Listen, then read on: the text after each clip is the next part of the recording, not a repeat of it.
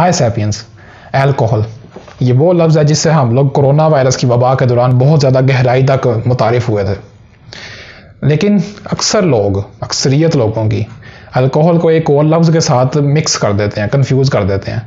वो लफ्ज़ है शराब। वो समझते हैं कि ये दोनों एक ही चीज़ के मुख्तलिफ़ नाम हैं। हालाँकि इन दोनों चीज़ों में ज़मीन आसमान का फ़र्क है। वो किस तरह है मैं इस वीडियो में आगे चल के आपको ज़रूर बताऊँगा।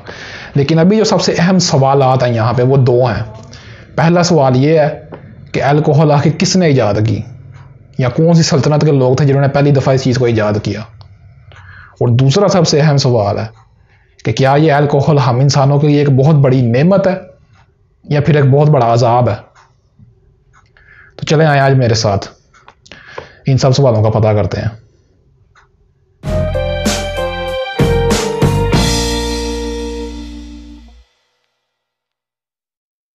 सबसे पहले तो मैं आपको ये बताता हूँ कि ये जो लफ्ज़ अल्कोहल हम लोग इस्तेमाल करते हैं, ये असल में एक अरबी लफ्ज़ अल्कोहल से निकला है। अल्कोहल किसी ज़माने में एक बहुत बारीक पाउडर इस्तेमाल होता था, ज़ख्मों के ऊपर इन्फेक्शन रोकने के लिए।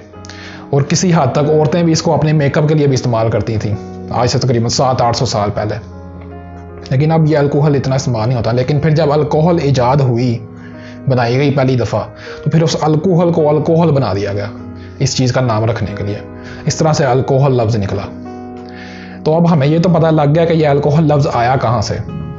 लेकिन सवाल यही था कि अल्कोहल किसने ईजाद की? या आई कहाँ से? तो अब जब हम लोग तारीख को देखते हैं तो हमें पता लगता है कि अल्कोहल जोन सी है, वो कदरे एक नई ईजाद है। इसको इतना अरसा नहीं गुजरा हुआ ईजाद हुए। लेकिन वैसे अगर हालाँकि देखा जाए तो इसको सात, आठ सौ साल हो चुके हैं ईजाद हुए। लेकिन जो शराब जिसमें से अल्कोहल को निकाला जाता है, वो इससे भी कई दो साल पुरानी है। जो हमें तारीखी रिकॉर्ड मिले हुए हैं, उनके मुताबिक जब हम पढ़ते हैं तो हमें पता लगता है कि शराब आज से सात हज़ार साल पहले जो उस वक्त की तमाम सल्तनतें थी, उन सब के लोगों ने एक साथ ही इस चीज़ को ईजाद किया था, चंद सालों के फ़र्क से। और जो पूरी दुनिया में मुख्तलिफ़ तरीक़ों से शराब बनाई जाती थी, मिसर में गंदम का इस्तेमाल किया जाता था, रोम में अंगूरों का इस्तेमाल किया जाता था शराब बनाने के लिए, और अफ्रीका में यहाँ तक लिखा जाता है तारीख में कि केले का इस्तेमाल करके शराब बनाई जाती थी। मुख्तलिफ़ तरीके थे अपने अपने लोगों के बनाने के लेकिन उस वक्त के लोगों को ये नहीं था पता कि अल्कोहल किस तरह निकालते हैं और अल्कोहल है क्या चीज़ क्योंकि उन्हें पता ही नहीं था अल्कोहल क्या है और क्या इसमें से निकाल भी सकते हैं हम कि नहीं। तो जो इंसान जिन्होंने ये अल्कोहल ईजाद की थी, वो बहुत ही मशहूर अरबी मुस्लिम साइंसदान थे एक, कीमियादान थे, इनका केमिस्ट्री की फ़ील्ड से लेना देना था। उनका नाम था अबू यूसुफ यकूब इब्न इसहाक, जिनको अलकुंदी के नाम से जाना जाता है। जो इनका मशहूर नाम है। तो इन्होंने जो शायद तारीख में पहली दफ़ा अपनी एक हा, इनके हाथों से लिखी हुई किताब जिसका नाम किताब कीमिया अल इतर है इस किताब में उन्होंने पहली दफ़ा बताया कि किस तरह हम लोग एक शराब में से अल्कोहल को अलहदा कर सकते हैं और उसको इतर यानी परफ्यूम्स में इस्तेमाल कर सकते हैं। और इसके अलावा उन्होंने अल्कोहल के और भी बेशुमार इस्तेमाल बताए मेडिसिन की फ़ील्ड में। और सर्जरी की फ़ील्ड में एक बहुत बड़ा इनकलाब आया, इस अल्कोहल की वजह से। उन्होंने ये जो अलकुंदी थे, इन्होंने हमें बताया था कि किस तरह इस्तेमाल कर सकते हैं इसको हम लोग। तो एक बहुत बड़ी जिद्दत आई थी सर्जरी की फ़ील्ड में इनकी वजह से। और इस तरह से पूरी दुनिया में फिर जो इनकी जो लिखी हुई किताब थी, पूरी दुनिया में फैलना शुरू हो गई। और फिर लोगों ने उस किताब का अपनी अपनी ज़बानों में तर्जमा ट्रांसलेशन करना शुरू की। और इस तरह से पूरी दुनिया में फैल गई अल्कोहल लेकिन अब सवाल आगे ये बनता है कि ये जो अल्कोहल है और शराब है, इसमें फ़र्क क्या है? क्योंकि लोग अक्सर इस चीज़ को आपस में कंफ्यूज कर देते हैं। वो समझते हैं कि शायद ये दोनों एक ही चीज़ के मुख्तलिफ़ नाम है। तो मैं एक सिंपल से लफ्ज़ों में आपको इसका फ़र्क समझाता हूँ कि अल्कोहल जो सा है, वो असल में एक केमिकल है, एक एंटीसेप्टिक केमिकल यानी कि एक ऐसा केमिकल जो जरासीमों को ख़त्म करने के लिए इस्तेमाल किया जा सकता है। और ये एक बहुत ही कॉन्सनट्रेटेड जहर होता है। अगर एक प्योर अल्कोहल आप अगर उसका एक घूंट भी ले लें तो वो बहुत ज़्यादा नुकसान करेगा आपके लिए। जबकि अगर यही अल्कोहल शराब के अंदर हो तो वो क्योंकि उसमें थोड़ी मकदार में होता है। तो इस वजह से लोग जो है वो शराब को पीते हैं, क्योंकि है हालाँकि वो भी जहर है। लेकिन ये एक छोटा सा फ़र्क है, जबकि जो अल्कोहल है प्योर अल्कोहल उसकी मुख्तलिफ़ कैटागरीज भी ईजाद हो चुकी हुई हैं। जो एग्जैक्ट कैटागरीज हैं, वो तीन कैटागरीज हैं इसकी। जिनके साइंटिफिक नाम है एथनॉल मैथनॉल और ये एक तीसरा नाम है, ये तो मुझे बोलना भी नहीं आता। तो ये तीनों अल्कोहल की कैटागरीज हैं और इनको हर मुख्तलिफ़ मकसद के लिए इस्तेमाल किया जाता है। इसमें जो सबसे मशहूर कैटेगरी है वो एथनॉल और पूरी दुनिया में जितनी भी किस्म की शराब है, चाहे वो रम है बियर है वाइन है, कुछ भी है वो, उन तमाम की तमाम में एक ही कैटेगरी की अल्कोहल पाई जाती है। ये जो अभी मैंने नाम लिया एथनॉल और ये हमारे जितने भी हैंड सैनिटाइज़र्स और ये लिक्विड जो से एंटीसेप्टिक होते हैं जो जरासीम वगैरह मारने के लिए इस्तेमाल होते हैं, ये तमाम के तमाम में भी एथनॉल इस्तेमाल होती है। क्योंकि ये ज़्यादा मशहूर है। मैथनॉल जो सी है, वो भी इस्तेमाल होती है, लेकिन वो ज़्यादा तेज़ है। इसलिए ज़्यादातर एथनॉल इस्तेमाल की जाती है। तो ये जो सी है, इसमें थोड़ा सा फ़र्क है कि अल्कोहल वो केमिकल है शराब के अंदर, जो कि उसमें से निकाल लिया जाए तो वो एक प्योर एंटीसेप्टिक चीज़ निकलती है उसमें से। ये एक थोड़ा सा फ़र्क है इनमें। लेकिन अल्कोहल जौन सी है, उसको आजकल उसी पुराने तरीके से नहीं बनाया जाता, जो अलकुंदी ने हमें बताया था, क्योंकि इसके तो अब मुख्तलिफ़ तरीके बनाने के आगे में है। ज़रूरी नहीं है कि इसको शराब में से निकाल के बनाया जाए अब। इसके मुख्तलिफ़ तरीके हैं बनाने के अब।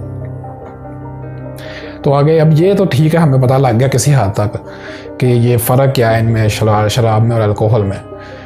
लेकिन आगे बात ये अहम सबसे बनती है, जो सबसे अहम सवाल है यहाँ पर जो मैंने वीडियो के शुरू में भी उठाया था कि क्या अल्कोहल हम इंसानों के लिए एक बहुत बड़ी नेमत है? या फिर एक बहुत बड़ा अजाब है? तो इसकी मिसाल मैं कुछ इस तरह से दूँगा। ये देखें, ये मेरे सामने एक, ये सिक्का पड़ा हुआ यानी कॉइन तो अगर आपने कोई भी कॉइन देखा हो, ज़रूरी नहीं है कि ये कोई भी कॉइन हो तो आपको हमेशा इसकी दो मुख्तलिफ़ साइडें मिलेंगी, जो बिल्कुल एक दूसरे से मुख्तलिफ़ होती हैं। जैसे इसकी एक साइड है, फिर ये दूसरी साइड है। तो ये बिल्कुल मुख्तलिफ़ हैं एक दूसरे से। तो बिल्कुल इसी तरह जो सा एल्कोहल की भी दो साइड है। एक साइड इसकी ये है कि ये एक बहुत बड़ी नेमत है। वो किस तरह से? कि इसके बहुत ज़्यादा इस्तेमाल है मेडिसिन की फ़ील्ड में। अगर आज हम लोग मेडिसिन की फ़ील्ड में पूरी दुनिया से अल्कोहल को निकाल दें तो उसका नुकसान इतना ज़्यादा होगा कि रातों रात अमवात इतनी बढ़ जाएँगी सर्जरी के मामला में और दूसरे मामला में, कि मुल्क के मुल्क डगमगा जाएँगे एक दफ़ा। इतना हमारा इस केमिकल के ऊपर डिपेंडेंस है। इतना नुकसान उठाना पड़ेगा हमें। तो अगर उस पॉइंट ऑफ़ व्यू से देखा जाए तो अल्कोहल हमारे लिए एक वाकई बहुत बड़ी नेमत है। लेकिन फिर एक इसका दूसरा भी पॉइंट है। वो ये कि ये हमारे लिए एक बहुत बड़ा अजाब है। यार, इस सिक्के का दूसरा रुख। क्योंकि जब हमें पता है कि यही अल्कोहल जो सी है, जब शराब के अंदर थोड़ी मकदार में होती है तो लोग उसको पीते हैं। और फिर पीने के बाद जो वो मसला करते हैं, वो भी हमें पता है, जो तबाही फैलाते हैं वो। एक रिसेंट में स्टडी पढ़ रहा था, एक स्टैटिस्टिक्स मैंने पढ़ा था, जो कार हादसे के रिलेटेड था। कि कार के हादसों में लोग जो मर जाते हैं जहाँ बक हो जाते हैं, उनमें सबसे ज़्यादा तादाद उन लोगों की है, अक्सरियत की, मरने वालों की, जो शराब पी के गाड़ी चलाते होते हैं। अगर इस पॉइंट ऑफ़ व्यू से देखा जाए और फिर देखा जाता है कि जितने भी झगड़े होते हैं और अक्सर ये जो तलाक के मामला चलते हैं, वो सारों में किसी ना किसी मामला में शराब शामिल होती है उसमें। तो अगर इस पॉइंट ऑफ़ व्यू से देखा जाए तो ये वाकई में हमारे लिए एक बहुत बड़ा अजाब भी है साथ में। तो ये दोनों रुख हैं इस साइड के। एक है नेमत और एक है अजाब। अब ये हमारे ऊपर है, इंसान होने के नाते। कि हमने तय करना है कि हमने इन दोनों में से कौन सी साइड चुननी है इसकी। किस सिक्के का रुख अपनी तरफ़ करना है। तो हमें यहाँ पर ज़िम्मेदारी का अपना एहसास करना होगा। और उस सिक्के की वही साइड चुननी होगी जो नेमत वाली है हमारे लिए। तो आप ज़िम्मेदारी का एहसास करिएगा और साथ में मेरी इस वीडियो को लाइक भी करें शेयर भी करें और मेरे चैनल को सब्सक्राइब करें, यहाँ पे टच करके। और ये कुछ पुरानी वीडियोस हैं जो मैंने पहले साइंटिफिक हिस्ट्री के ऊपर बनाई हुई हैं। ज़रूर इनको भी देखिएगा आप, बहुत कुछ सीखने को मिलेगा। और अपना ख्याल रखिएगा, हम लोग फिर किसी वीडियो में मिलेंगे।